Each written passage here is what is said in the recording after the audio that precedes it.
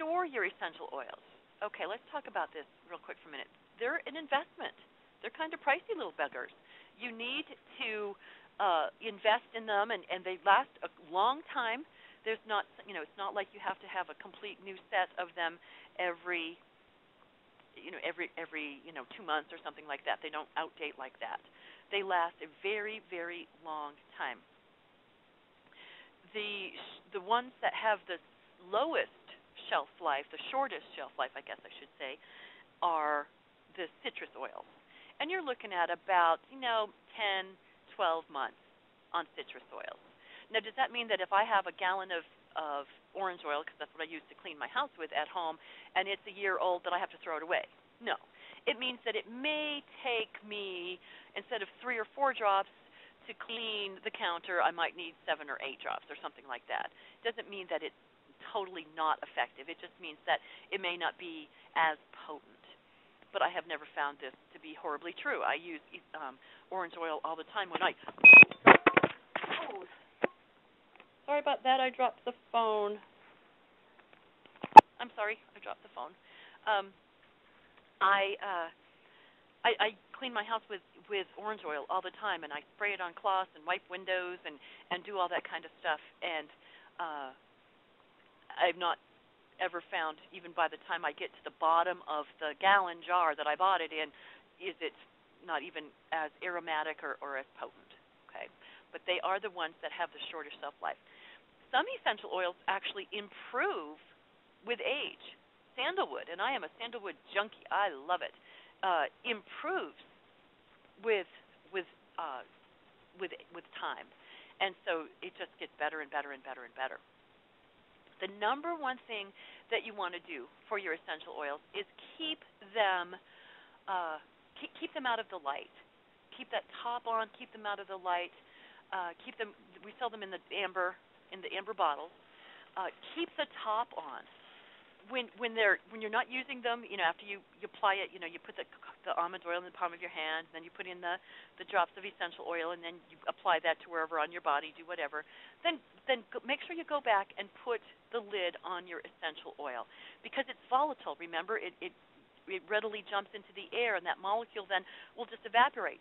That little orifice, that little plastic part that actually goes down into the essential oil, okay, into the bottle that's called an orifice, and that allows the essential oil to drip out. Now, some oils are thicker than others, and we don't mix you know a carrier oil in there so that they'll all have the same viscosity. Some are thick. Sandalwood is thick. Uh, lavender is thin, and we just we some will drip out faster than others because we let the essential oil stay the way it's naturally meant to be. But the uh, that orifice, besides dripping out the oil, actually limits the amount of oxygen that can go into the bottle because that uh, oxygen, that UV, all that good stuff is you know going to get into that bottle and start raising havoc as well. So you want to keep them covered. You want to keep them in the dark. You want to keep them uh, with the lids nice and tight and securely on there, and they'll last a long, long time. A friend of mine, oh, I, I'm 54, almost 55 and about you know 15 years ago, um, having trouble with with menstrual cramps and stuff like that, I was using Woman Wise, which is the oil for that, and I uh, no longer needed it. Balanced what I needed it to do, and after you know using it for a few months, I no longer needed it. Okay, so I put it in my little case, and uh, went about my merry way and on and on and, and then as I went through menopause and had hot flashes and stuff like that, I used the oil called Balance to figure that out. But anyway, long story short, I no longer needed Woman Wise, haven't used it in probably 15 years, okay? 12, 15 years. And my neighbor came up and she said her her little 13-year-old daughter needed uh was having period cramps and and she was doubled over and she didn't go to school that day and she was having a heck of a time. Okay? The uh so I said, well, you know, all I've got is this, uh, you know, 13-year-old whatever bottle of of Woman Wise because that's the one that she needs. But you're more than welcome to use it, and then I'll bring another one home from work with me tomorrow that's fresh. I mean, you know, 12 years, you're looking at, oh boy, what what's going to go on there, you know? And So I gave it to her. She came up and got it, whatever. Told her, you know, have her put it in the tub, rub it on her lower back, rub it, rub it on her lower um, tummy, and do what she needed to do with it. And I went to work the next day, brought home some woman wise from uh, from work, and dropped it off at her house. And she says, "Oh no, no, no, I don't need it. This bottle that you gave me is working just great. She went to school this morning. You know, she slept great. I mean, after she took the bath and she rubbed some deeper on her back for some pain. She said it was great. There's not a problem. And so, you know, that's after 12 years. Now, you know, maybe she needed to use, you know, four drops instead of three or something like that. But that's amazing to me that that the oils hold that uh, therapeutic property for that long. So keep them well stored. I have a case that I keep them in, and so I can find them when I need them. And they're they're in the dark. You don't need to keep them refrigerated, but you don't want to store them, you know, out in your garage in the hot summertime either, or in the cold winter time. Just room temperature, and uh, and, and they'll last you a good long time. They're worth the investment for a long, long time. Okay. All righty. All right, let's talk about carrier oils themselves for a second and why we want to use carrier oils in the first place. I have probably had every single oil, single and blend, on my skin straight at one time or another over the past eight or ten years. Some sting. you know, straight cinnamon, straight nutmeg, kind of burny. Straight lemon, actually can get some skin irritation going. Uh, you don't need to use them full strength. You don't want essential oil use to be to cause any skin sensitivity or rashing or burning or anything like that. You want it to be pleasant. You, you're going to be more compliant with it if if it makes you happy they're very, very concentrated, like we said in the beginning. They're very concentrated. You only need, every time you use it, a couple of drops. Seriously, you know, three, four drops. That's all you need. More important than using 10 drops this morning would be to do it throughout the day with three drops each time. That's more important, how often you use it and reapply it. Um, as a side note here, the liver is 24 7 cir- you know circulating, not circulating, but uh, filtering your blood. And you're using up these essential oils. They're going into the cells. They're pulling junk out of the cells. They're chelating with, you know, mercury and all sorts of bad stuff. And they're doing their job and they're being used up. And that happens every four to six hours. So when people say, well, how often should I put it on? I say every four to six hours. Uh, if you want to keep the body, uh, you know, the blood levels you know high, you want, might want to do it every three or four hours initially, at least to get the balance occurring, and then back it down from there. But you you don't need to use a lot of essential oil each time, and you want to apply this to the skin, and you want to cover. Remember that that slide that was in there about Hilton's law of physics. By applying to the skin, you can affect muscles and bones and joints and skin, all the stuff from the skin. Well, so you want to cover a pretty large area. You don't want to just have one little tiny minute area. You know, there's exceptions to that rule, obviously, but uh, but for the most part, you want to, you know, if your leg aches or your knee aches or your shoulder hurts, I mean, you want to cover the shoulder and down the arm and a little bit on the back and up the neck, and you want to cover all of that area. And you can't do that with two or three or even four drops of essential oil. So what we do is we use a carrier oil. When we say carrier oil, that just means it is a vegetable based fixed oil. This is almond, it's coconut, it's jojoba, it's uh, rose hip, it is avocado, uh, apricot, grapeseed, any of those kinds of carrier oils that you might want to use to basically dilute the essential oil so that you can cover a wide area on your body it doesn't affect it, it actually does I think affect the usage of the essential oil. I think that it makes it better. I think it makes the absorption ha- occur uh, more effectively. If you think about how concentrated the essential oils are, and if they are going to be in uh, one area, all of that concentration going in, they're just going to be like one after the other, you know, a steady stream of them going in through the skin. But if you have it on a wide area of the skin, then they're going to have a whole bunch more going in all at one time from all of these different places. So I think that it makes it actually more effective, faster to uh, have them going in over a wider surface area.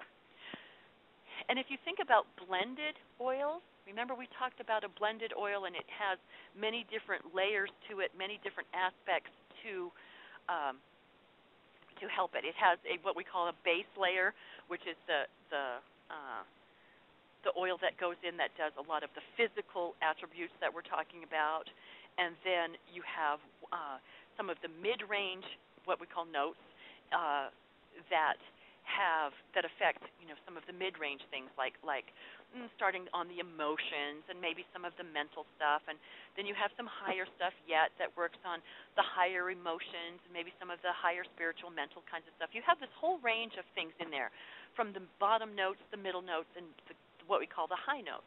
And the high notes are the high frequency blossom oils that most oils have in them, even if it's just a little tiny drop of rose at the very end of the blend, you have that high frequency in there. You have that high frequency in that blend uh, carrying it.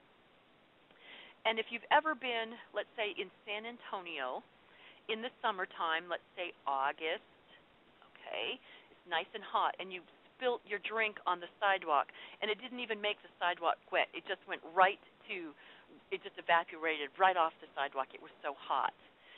And that's called sublimation. And that's what happens when you, those essential oils that like cool, they like about 20, excuse me, about 67, 62 degrees essential oils, okay? They they don't like to be horribly hot.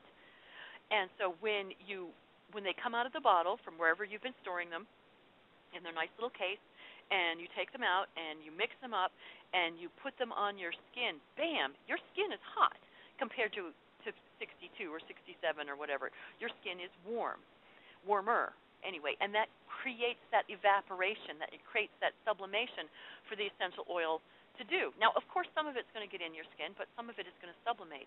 Well, I'm lazy and I'm always in a hurry and I want all this to work and I want it to work to my best advantage and I want it to work right now and I want it to work right. And so essential oils, if you put the carrier oil in the palm of your hand first, and then you then you put the, a couple drops of the essential oil in there, it kind of encapsulates. Think of it as as putting little mud galoshes on the essential oils, and it kind of slops them, slow, slows them down.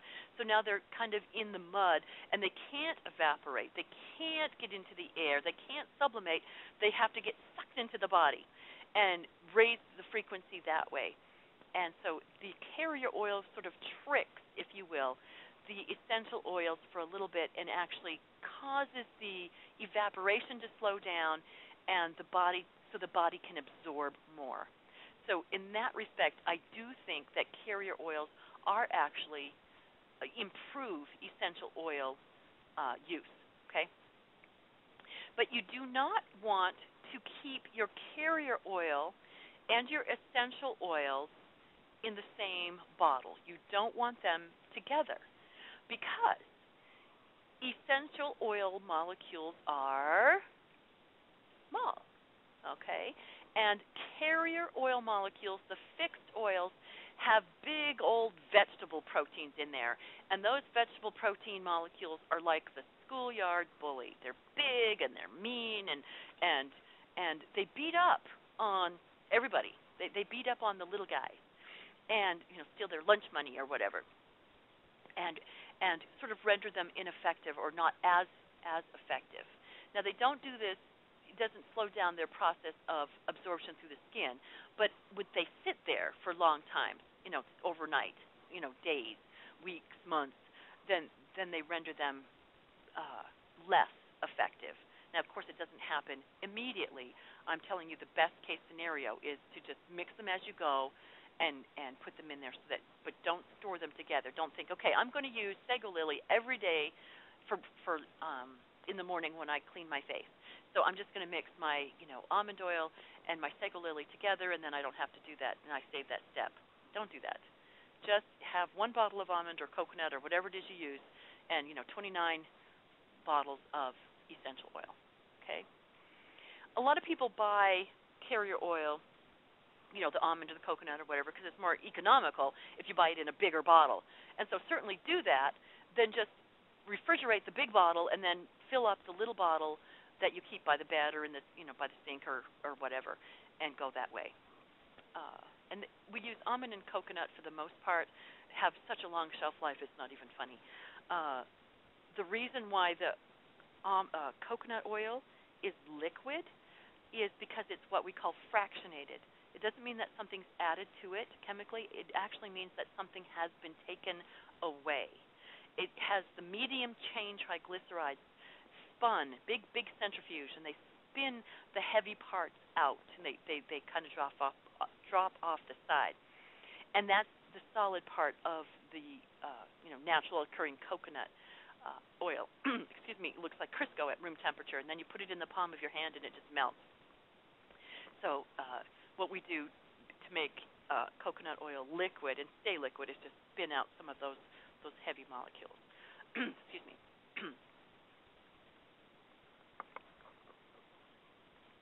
Okay. Now, moving right along, let's talk a little bit about safety. We talked about pregnancy earlier, but we'll talk a little bit more now. About there there are some cases where you have to use some caution on what you're using on who. Whom. Uh, for the most part, blanket statement that essential oils do not produce side effects is is accurate. They're they're not medications. They're they're not like pharmaceuticals that you have to have the right prescription for the right person. You know, just about everybody can use lavender, you know, or, or any of the blended oils, with a few exceptions. And we're going to talk about pregnancy first, okay? Um, so I hope I don't offend anybody that might be pregnant because I can't see you. But what's wrong with pregnant people, pregnant women? What's wrong with them? What's out of balance with them? If the whole object of natural medicine is to bring about balance to that scale, bring about that homeostasis, bring about that that improvement in our health by maintaining that balance. What is out of balance already now with pregnant women? And that is their hormones. That is they're out of whack. And they need to stay out of whack. They they can't be brought into balance until after uh, the baby's born because those, that imbalance in the hormones is what's maintaining the pregnancy. And that's what triggers different aspects of the pregnancy is the different levels of the different hormones at the different times. And so you don't want to mess with anything that balances hormones while you are pregnant. There are a lot of cautions for pregnancy with the single oils. Uh, I have seen lots of problems with peppermint, just little old peppermint. I've seen problems with lots and lots of singles with with pregnancy. But there's really only two blended oils of the synergistic blends that Butterfly Express makes, there's only two that have a, real serious caution for use in pregnancy. And those would be the two that balance hormones. And I've mentioned them. The one called Woman Wise is the oil blend that works to help balance the period, balance the cycle, get the hormones going so you can get pregnant, work on clearing up the the period cramps and the inappropriateness or whatever might be going on with the uh, with the period, with with the whole cycle.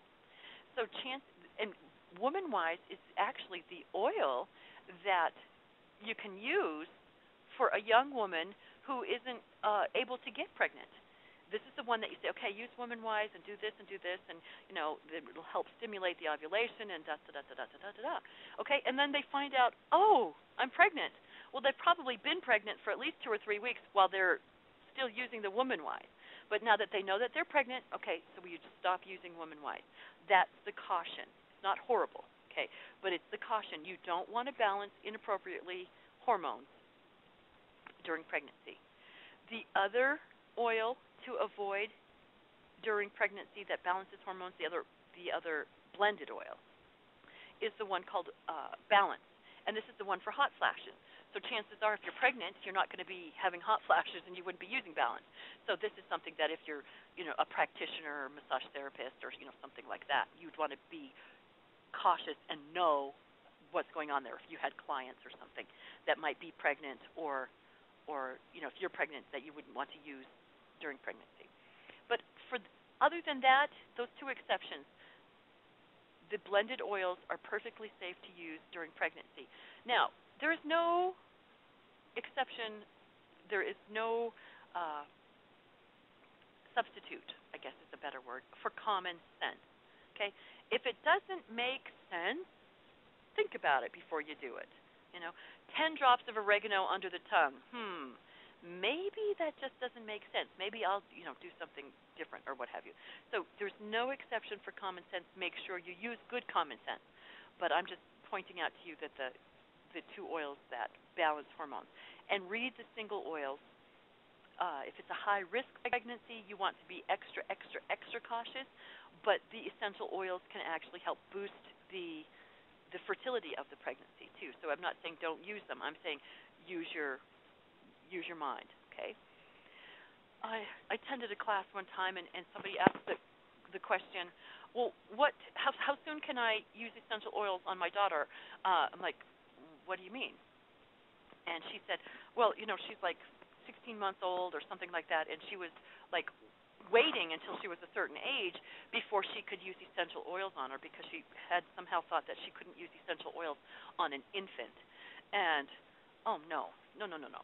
Now, of course, you wouldn't want to slather uh, a two-year-old with, you know, 15 or 20 drops of deeper, hardly undiluted, on their back. That might be overkill.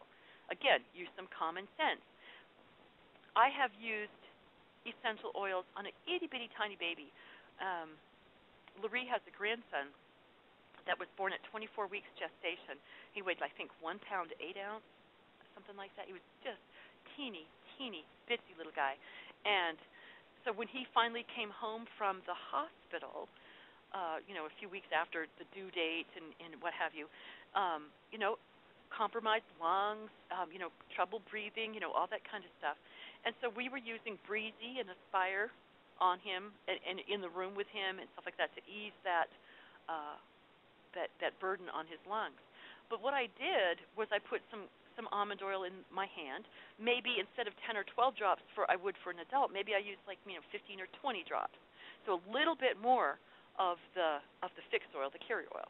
And then instead of three or four drops, of essential oil. Maybe I only put in like one drop of essential oil. And then rub my hands together so it's really dilute now. And instead of using my whole palm to slather his back, maybe I just use the amount that's on the first three or four fingers and and go from there. Or hold my palm in front of his nose so he's breathing in aromatically what's left on my hand. All right? So again, you want to scale down how much you give to children appropriately but you don't have to not use it on them. Very, very important. Okay. Um, I lost something on my slide here. Medication. a lot of people say, well, they want to get off their blood pressure medicine, or they want to get off their, um, you know, pain pills, or they want to get off, you know, whatever, um, their their antidepressants, and they're afraid that medications will interact inappropriately with the essential oils. And for the most part, I don't think that's true. I think that the pathways that medications work is different than the ways that the essential oil molecules work, and that they can be taken concurrently. And what you find happens is that you'll need less and less of medication. You'll forget to take a pill, or you'll cut a pill in half, or take it half as often, something like that. But you can't, uh, you know, necessarily go cold turkey off your medicine and you know you might want to work with your doctor or whoever gave you the medicine to say you know what i'm i'm doing this to cut back on my prescriptions and i'm doing this to balance you know what might be going on inappropriately but what most people find that they use the two concurrently and then they find that oh miraculously they need less and less blood pressure medicine until they finally don't need any more or whatever okay internal use let's talk about that for a, for a minute real quick Um, I am a dietitian, like I said in the beginning, and so I know a little bit about how the gut functions and how it works and how stuff is absorbed out of there and what have you. Okay? There is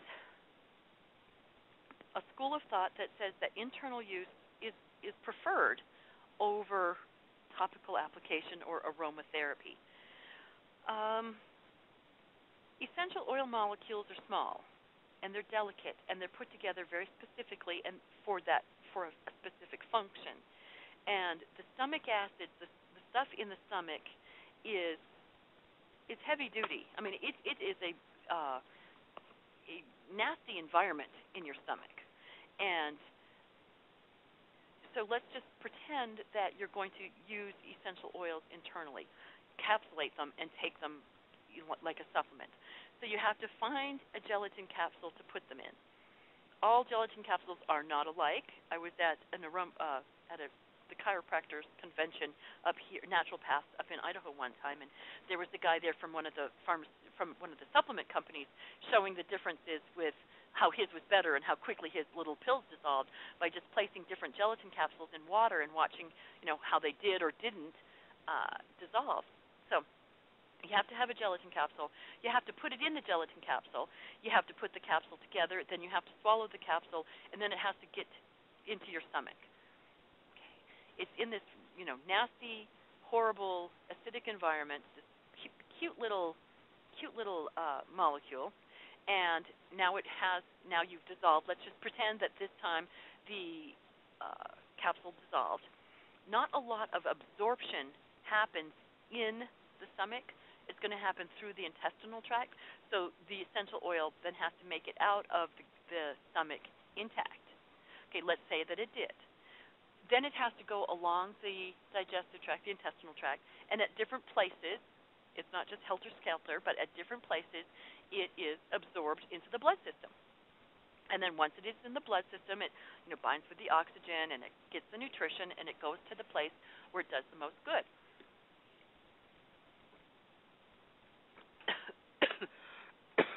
Excuse me. All right? How long does that take? You got to get the capsule, fill it up, swallow the pill, you know, have it dissolve, get it out, get it absorbed, get it going. It's going to take a while. Excuse me, just a minute.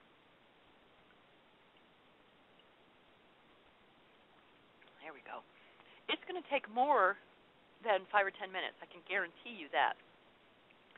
The essential oils when topically applied to the skin, are instantly absorbed into the skin. They, they just absorb in readily to all those receptor sites on the skin. That's their job. That's what they do. They're small and they readily get in there, and bam, they're immediately in that tissue now and into the blood system and circulating. And I don't know about you, but when I want to do something like that, or if I've got pain or, or whatever, I want it to work and want it to work fast. I want it to work now. And if I can access every part of my body through my blood system through the outside of my skin. I don't have to put it through my gut. I don't have to eat it. Excuse me again. I've got a dry, swallowy spot here. Um, the um, I, I was at the aromatherapy convention in Denver a couple years ago, and I met a fellow named Robert Tisserand who has written a book compiling all the statistical information about that that we know at the time when he wrote the book that we knew about essential oils and part of that was about the kind of bad name that they had been receiving because of deaths from from people taking them internally and through this information they ascertained that uh, you know people had died from internal use of essential oils now it was probably caustic oils and probably given in too large of proportions. But still, nonetheless, there's not ever been anybody that has died from topical application. And I have to go home tonight after teaching you guys, and I have to sleep. And I sleep like I have good sleep. I'm blessed with good sleep, and I like to keep it that way. And if I ever at once thought that people were going to be out here eating oil and saying, "Well, Sharon said if I did this, then this would happen," and then something bad happened to you, I wouldn't be able to sleep well. So I I teach I teach prudence. I teach common sense. I teach uh, for you to go slowly and be and be very uh, mindful about what you're doing. Just helter skelterly eating essential oils can create some problems. Now, do I know people that do it? Surely. Do I know people that in, use internal use um, Butterfly Express? You betcha. But they're doing it on their own, and they're doing it, and they're they're experienced, and they're not doing it to to see what's going to happen. They they they know what they're doing, and they're using um, prudence as they do. Okay. Uh, a lot of people are saying recently that the reason that Butterfly Express does not uh, recommend internal use is because our oils are not pure, and that if our oils were pure, then we could eat them and everything would be good. Think about that statement for a minute. Uh, if I am topically applying something to my skin and it is absorbing in immediately, and going right into my blood system and I have no way to short circuit it or or slow it down or or monitor it. It's just basically happening quickly. That topical application that oil needs to be pure and needs to stay pure because it is absorbed in so quickly. If I if I put it through my stomach my stomach acid has a chance to break down you know components if they're not quite good, and the intestinal tract has the ability to isolate some components if they're not quite good, and there's at least some some stop measures along the way um, to help if the oil were were not totally pure if I was ingesting it. So it's actually the opposite of what they're saying there. That internal use at least gives you a little bit of a chance to isolate some and, and uh, remove some of the chemical components. Where topical application, it goes right into your system. It goes right into your blood system, bam, and you have no way to determine, you know, or, or monitor it. So, again, do what you want to do. Do it wisely. Do it judiciously, and and be careful because all the negative publicity that essential oils have gotten has been from internal use. Okay. Oftentimes, when we are using an essential oil, they will cause discomfort. Mostly it's just a rash on the skin. Now let's talk about for a few minutes what some of those things could be, or what what could cause them, or, or you know what makes that happen. Okay, from from before when I was talking about uh, detoxifying the cells and, and the good water comes in and the bad water comes out and you clean and scrub that membrane. So here you are putting essential oils um, on the skin. Okay? And you've never done it before, you're just brand new and you want to you know, you're kind of excited and, and you know this is going to work and you're convinced and, and you're, you've had good success or you, you trust who's giving you this advice or what have you. So you're going to do it and he's like, well, you know, if some is good, then then more might be a little bit better, and and so on it goes onto your skin and you know maybe you use the carrier oil maybe you didn't use quite as much maybe you did it more than you know two or three times a day you know who knows what could have happened okay? But all of that information or excuse me all of that uh, good cleansing stuff goes on in the cell and it pulls that stuff out of the cell and into the blood system and the the blood system then is like circulating all of this stuff and it's kind of toxic and the body has to eliminate it because it can't have all that toxicity in the in the blood. So what's it going to do? It's going to try to diffuse it any possible way it can and the number one way that the body diffuses that toxicity within the blood is push it to the skin and get it to diffuse through the skin because the skin is actually our largest organ of elimination you know, we think of elimination, we think of the colon, we think of the kidney, but we actually eliminate through the uh, through the lungs. Every time you expire, every time you breathe out, you're actually uh, detoxifying your body somewhat, and and through your through your skin as well. Okay, so you're like, okay, so the body is diffusing this buildup of toxicity that's in the blood, and it's pushing it to to the surface of the skin. So that might be one reason why we have a rash. Okay, and then people will say they'll stop using the essential oil because it's like they're allergic to it. They have a rash, and so they stop using it. And lo and behold, the rash in a couple days clears up. Well, then they were allergic to the oil, right? Well, probably not. I mean, I think a few people over the course of, you know, the, the time I've worked with this have been allergic to essential oils, but very, very rarely. Most often, it is the body's detoxifying that creates that creates the this this topical uh, effect. Okay, and so you want to go slowly when you first start out. You don't want to detoxify too quickly; that will cause discomfort. So if you're brand new to the you know to the whole thing, then don't start out doing it you know 20 you know a whole bunch of times a day or start out with uh, a lot of oil on one day. Just go slowly. Again use your mind. You know if it makes sense then it sounds good then let's let's you know pay attention to that. If you do get that toxicity and not everybody gets this okay? I'm just talking in, in you know some cases okay?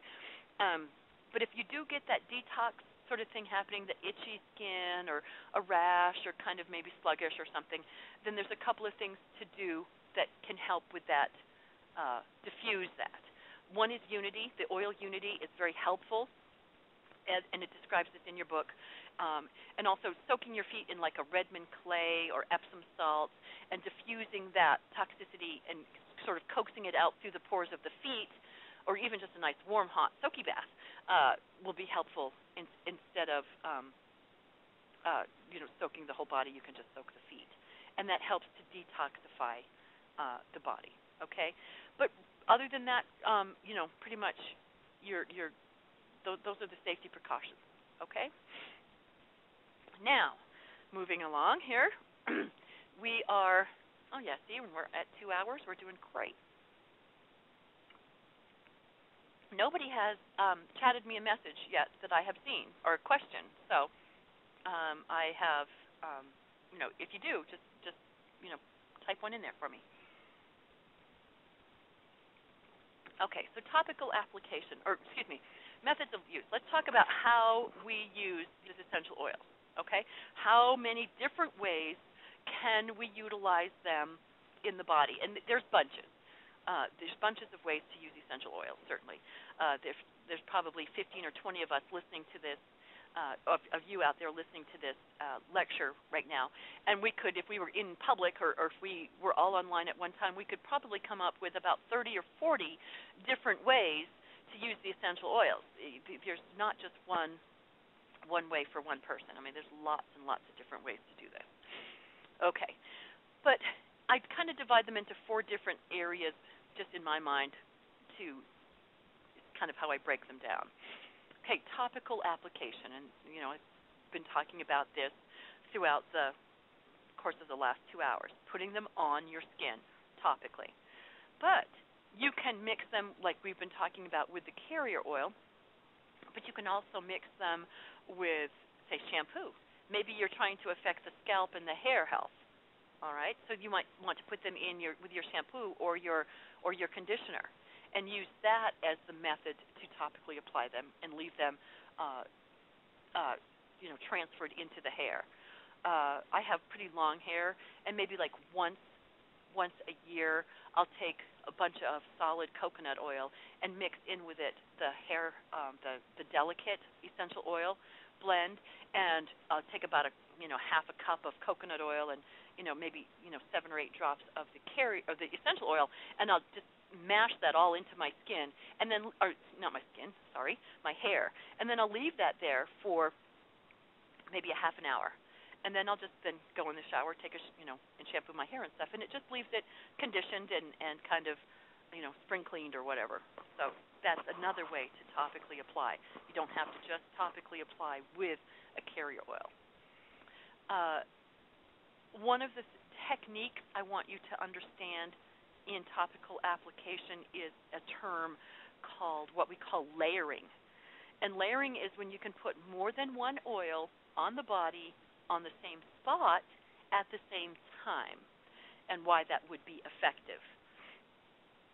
There's, there's oils that do lots of things, certainly. There's oils that work for aligning things, that's millennia, it puts things back where they belong that's a uh, a good oil when you've fallen or you know fallen off a bike or or you know hurt yourself some way. Something is probably not where it was when you started out. That's why you're bruising, swelling, what have you.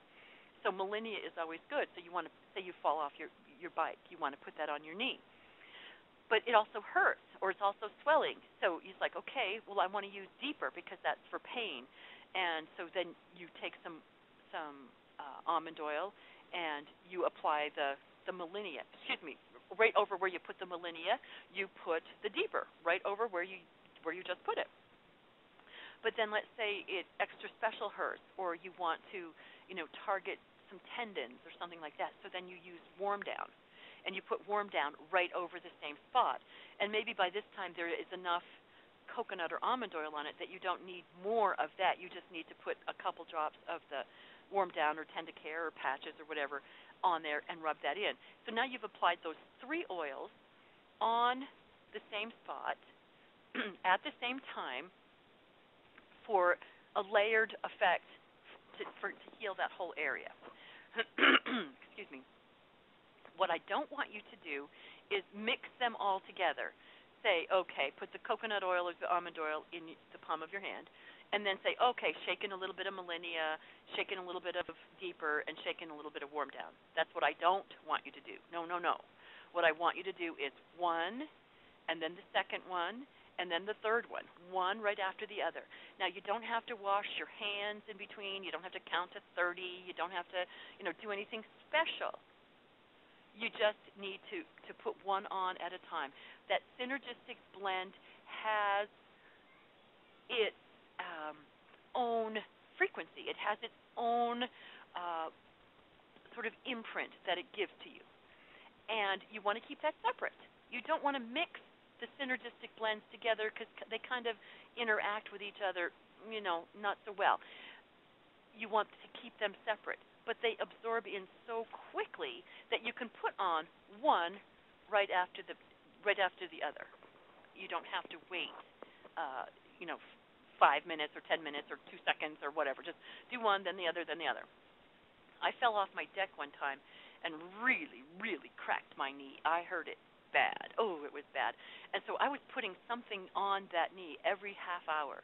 I, you know, put on deeper, and then I'd put on birch, and then I'd put on helichrysum, and then I'd put on more deeper, and then pain, and then millennia, and every, you know, every little bit I was putting on something different. So maybe not all at the same time, but over the course of four or five uh, hours, I had put on maybe ten different oils, and man, it didn't swell, backed right down, uh, you know, I was as good as gold the next day, but I was pretty pretty studious to it that first couple of hours. Somebody has sent me a question that says, "Are butterfly expressions uh, or express uh, oils organic, pesticide-free, wild harvested, or cultivated?" Uh, yes, no, yes, and yes. they are pesticide-free. Yes, they are. Some are organic. Actually, a large percentage of the oils that we uh, import are organic they are some are wildcrafted and some are cultivated. Um, no no um, no pesticides. The thing with organic labeling, and I'm going to put on my master gardener hat this time. The labeling laws for organic from country to country, from state to state, I mean, it's like are different. And so what what China might mean by organic standards and what Portugal might mean by organic standards and what Madagascar uh, organic standards are all different. And the standards are, in my opinion, horrendous of what you can actually use and maintain an organic um, standard or, or, or status in some of those countries.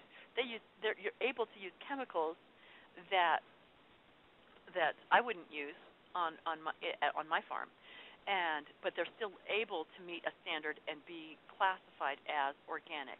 So just because you see something that says organic, don't let that fool you into thinking that that is the most perfect oil that's out there because there are some conventionally grown oils that are probably better frequency that are than than some of the organics that I have encountered.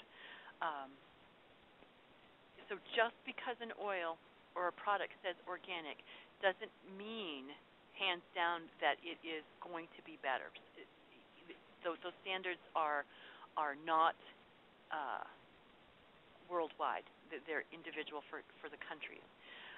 You want to hope that it means that they have used, uh, you know, less chemicals and stabilizers and and pesticides and herbicides and and Roundup and all sorts of stuff on them, but not necessarily. Uh, what you want to do, what you want is a finished product, an oil, an essential oil that will produce results. I believe that essential oil molecules, the essential oils themselves, are alive. They're living. They're they're products of plants. They are they are alive, and because of that, they produce and and partake and impart rather that frequency on us when we use them and that is how they will then predictably work. If if they were not alive or if they were laced with chemicals or if they had um, all sorts of preservatives and stabilizers and all that stuff in them they would not produce the health benefits because they would not be pure and they wouldn't be able to produce that health benefit. They wouldn't be able to balance the body and and bring about that true healing. And so I let the essential oils themselves um, work and and do that job, regardless of whether it says cultivated or or wildcrafted or or organic. So I hope that answers your question. Um, okay topical application. So we talked about layering, putting you know lots on one place. My son came home from college one time, and he for some reason went into my bathroom and around my sink and the tub and you know where have you. Um, maybe had you know seven or eight you know ten different oils. It's like he came out of the bathroom with this very concerned look on his face and said, "Are you sick?" I'm like, "No, why?" And he says, "Well, there's all these oils by the by you know around the sink in the bathroom. Well, there's deliverance oil because I brush my teeth with it, and maybe there is Sego Lily because I put that on my face in the morning, and there's lime because I use that to clean my face at night, and myrrh for the wrinkles at night, and you know whatever. You know, lots and lots of oils. Sandalwood just because it smells good. I love it. Um, so there's lots and lots of oils that you can use in a day's time in different ways uh, at different times. Uh, not necessarily layered on the same place. You could put, you know, birch on and and pain and and what have you on your knee, and you could put heart song on your chest, and you could put sego lily on your face, and you could brush your teeth with deliverance, and and bam, you're using a lot of different oils uh, all at the same time. Okay. Uh, topically, we want to look at uh, using, you know, anything that we use on the skin. You can take a good lotion and use lotion uh, as the carrier on the skin, or coconut oil. Solid coconut oil is an excellent oil carrier for uh, essential oil. I love it. It's very emollient. It's uh, very soothing to the skin. It, it's it's a very wonderful way to to use essential oils. Um, there is uh, a- anything else that you could think of that would you know topically allow you to use essential oils on the skin. Um, using the feet is a great way rather than than the whole body. Okay, so like say you're trying to affect um, you know a, a balance of something, you know high sesquiterpene count, and you don't want the smell of sandalwood because you're going to a meeting, and so you don't want to rub it on your neck, which is up close to your central nervous system, your brain, your spinal cord, or whatever. Use your feet uh, if you don't want to go, you have kids using essential oils and they don't want to go to school smelling like whatever the essential oil is, put it on their feet. Feet are a great place with large pores that essential oils uh, absorb into very, very quickly. A good place to use oils is the feet. a lot of people, I know a couple of acupuncturists that use the oils topically when they on their needles that they they find the acupuncture points or even if you do acupressure, I certainly do it when I'm doing a, a cranial, you know, sacral session. It's uh, it is using the essential oils. Um, you can use the ears, um, you know, like the if foot zones. A lot of foot zonists use essential oils on the feet as they're zoning the feet, but you, there's a whole auricle, you know, on the ear uh, sort of uh, location of all the different stuff that's on the ear. So there's lots of different ways that you can use the skin, you can use the body, you can use the meridian lines, you can use the chakras, and all of this is in your book.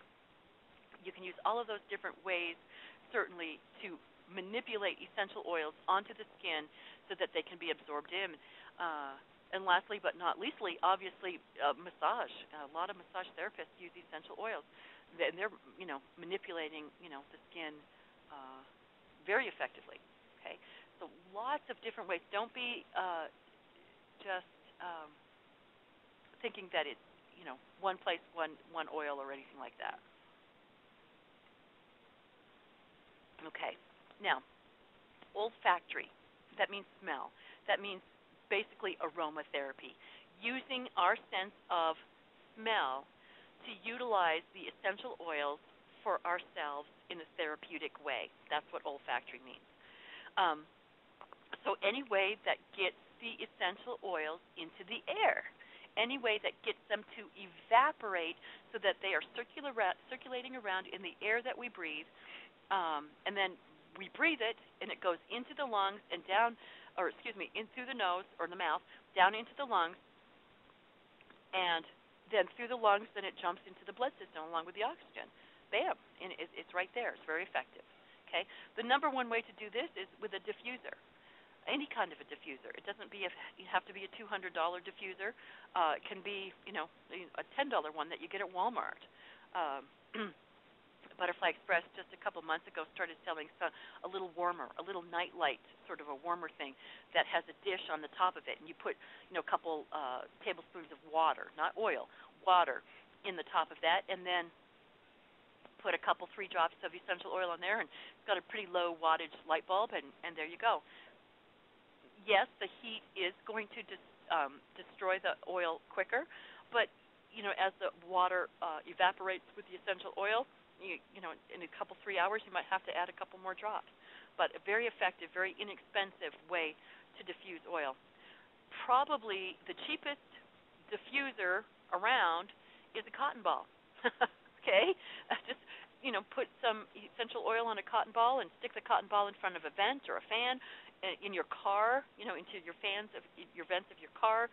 Your fur- I know a guy that puts it on his his uh, you know furnace filter or his air conditioning filter. He just uh, physically goes down and pulls it out of the thing, and you know puts it on that filter. And then when the air conditioner or the the heater is on, then that is circulating and vacuuming, scrubbing, and helping clean the air as well as as as you know the equipment. Uh, so anything that gets it into the air is diffusing. Uh, sniffing the oil, just opening the bottle of oil and smelling it, just putting the bottle up to your nose and smelling it. That is therapeutic because because you're smelling it means that those molecules are present, and then they're present, and then they're going into your lungs, and from your lungs they're going into your into your bloodstream. From your bloodstream they're going to all the different cells that need them to make them work. Uh, so just sniffing the bottle. Uh, Butterfly Express sells those inhaler packs so that you can saturate this little cotton core and then keep it in your pocket, unscrew it, and then you can inhale uh, whatever is whatever uh, oil is in the inhaler and put that you know right in your pocket. This is great to carry onto a plane uh, because it's not liquid. It doesn't have to be declared. It's great for kids sending them to school. You don't want to send them your whole bottle so that they'll lose it or break it or you know they can't have certain amounts of substance substances with them. And so, so those inhalers are excellent. But just opening the bottle, breathing it a couple of times, and then closing the bottle is very, very effective. Uh, you can make your own room spray. Uh, get you need to get a glass bottle, not a plastic bottle, because essential oils sometimes corrode plastic, and so you want to be careful there. And so you want to uh, utilize uh, a, a small glass bottle and mix the essential oil with some kind of a medium. I usually use distilled water. and you know just spritz the room with that you know my the room that my cat box is in or whatever excuse me. Um, again, if it's in the air, it's going to help kill you know viruses and germs or what have you. If somebody has been in my office at work and you know they've been sick or had their sick kids in there, well, they got oils for them. Then after they leave, not while they're there, but after they leave, I take out my Deliverance spray bottle and just kind of spray the air, just spray down my office, kill all those viruses and germs that might be in the air right away. So a great way to uh, use essential oils. Okay. Um, now water. I hope everybody has had a bath with essential oils at one time or another. It is wonderful. I don't take a bath that I don't add an essential oil to it. Some of them, if I've been out in the garden too long, like this earlier this week, I had been cleaning out. I have a koi pond in my Zen garden, and I had been cleaning that out, and uh, so I was tired. You know, I didn't hurt anything. I didn't pull a muscle or strain or sprain or anything, but I was tired. I was very tired that night. So I got into the the tub and I put some deeper in there with me, and it just you know made everything relax. And you know slept great and was fine the next morning. I wasn't you know tired or stiff or or anything like that the next day. So there's always something that you can put in the tub. If you're not sick and you're not tired and your muscles don't ache, then just put in something that makes you feel good. Tranquility is a great one in the tub. Sanctuary, solitude. Um, I wouldn't put peppermint, but some people tell me they like peppermint in the tub. Uh, but it, w- water is a great way in the bathtub to, use essential oils to soak. How much do you need? A lot of people think that you might need more because that's a heck of a lot of water in the bathtub, but no, you don't.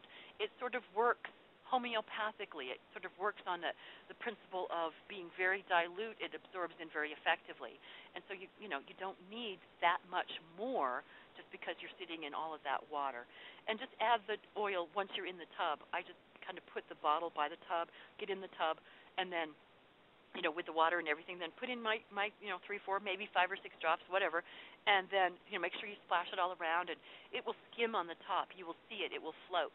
You can see the oil, and then you just splash it on, and and um, then enjoy you know soaking in the rest of it. So, uh, if you don't take a bath, if you only shower, then you can use, utilize the same principle in the shower is to put a drain to catch the water in the shower while you're showering, and then as you're standing in that collected water, just put a couple of drops down there, and it's absorbing in through your feet, and and you're good to go that way as well.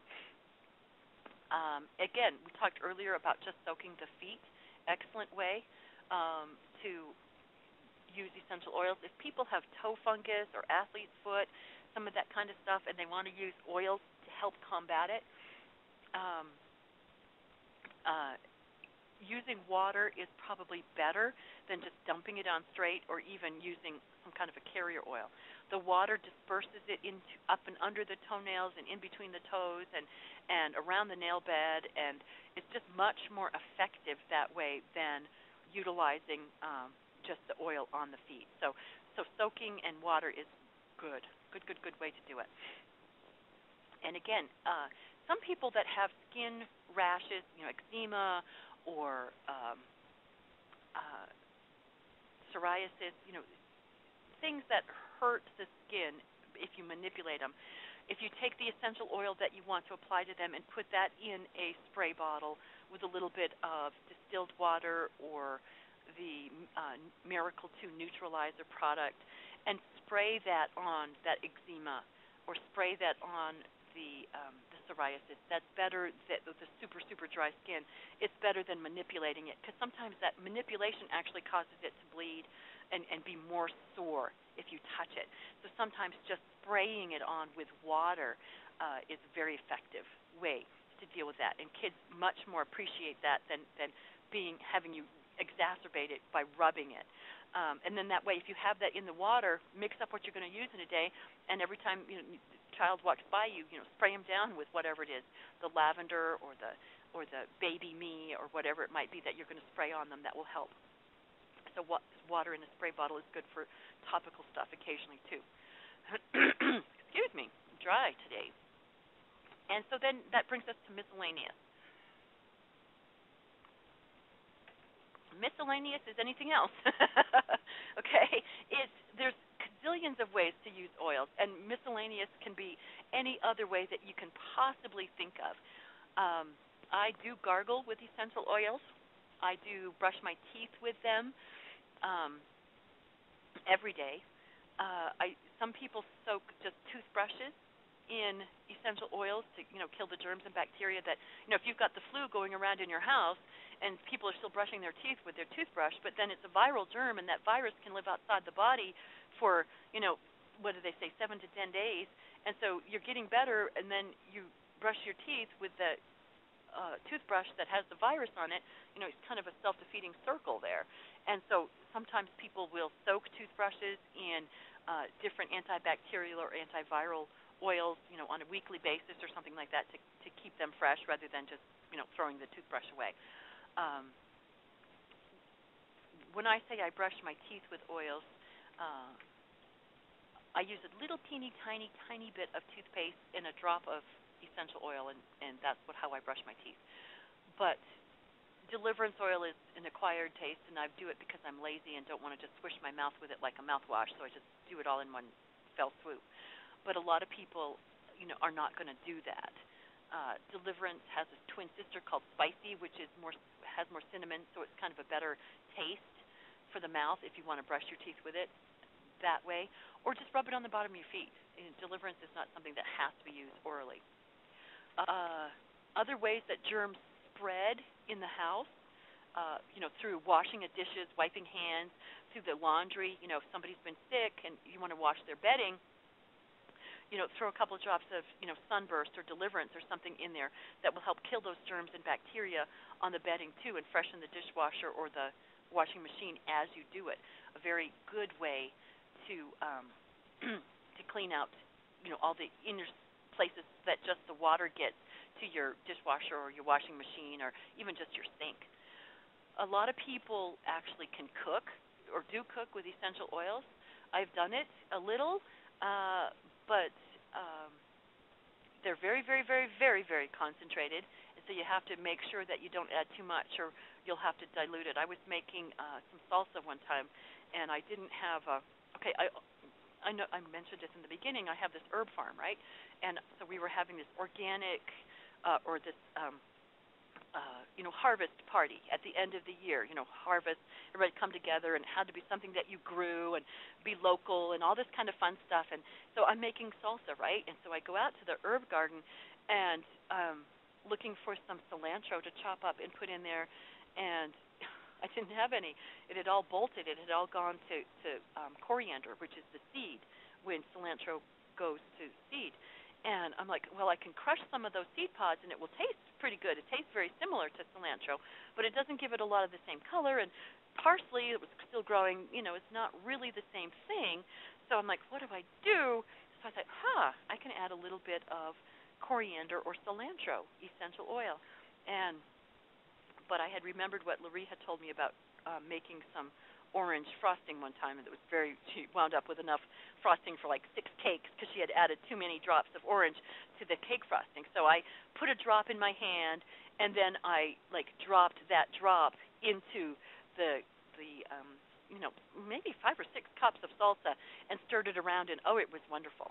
Um, so gives it great flavor, but you don't want to just start shaking essential oils in and get five or six or oils uh, drops of oil because I'd had to have made another gallon of salsa. So you, you want to be careful, but they are fun to cook with because they are so concentrated. I have a friend in Canada that makes a mulled, you know, in the winter time or in the fall time, you make with the apple cider and the cinnamon and the nutmeg and you know all those wonderful fun flavors that make the hot the hot drink. And she uses some essential oils to sort of spice that up with too. But again, go slowly uh, so you don't have to make you know five gallons of the stuff.